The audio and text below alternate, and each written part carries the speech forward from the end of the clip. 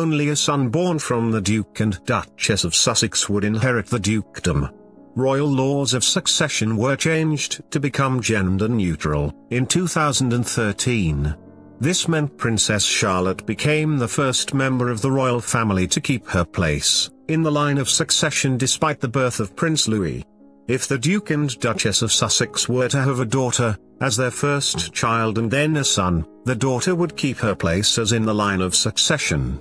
However, despite the rule change to the line of succession, the rules of peerage have not changed.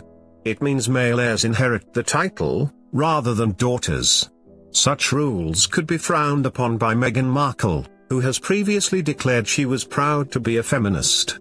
The Duchess of Sussex's stance has been highlighted on the royal's new website that quotes her speaking at the United Nations in 2015. She said, I am proud to be a woman and a feminist. The page also highlights the Duchess' activism work and champions her efforts for women, in addition to works conducted abroad.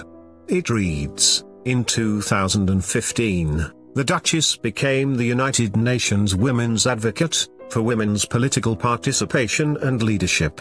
In this role, she gave a speech on the importance of gender equality, on International Women's Day, for United Nations Women in New York City.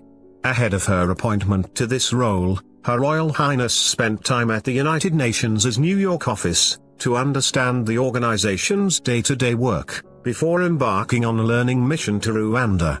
On this trip the Duchess met female parliamentarian leaders in Kigali, and visited Gihembe refugee camp, where women were working on leadership and empowerment at a grassroots level. The site also discusses the Royals' work with the Myna Mahila Foundation, that helped to empower women last year. It went on, in 2017, her Royal Highness undertook a second learning mission with the organization, when she visited India with World Vision to bring a greater awareness to girls' lack of access to education.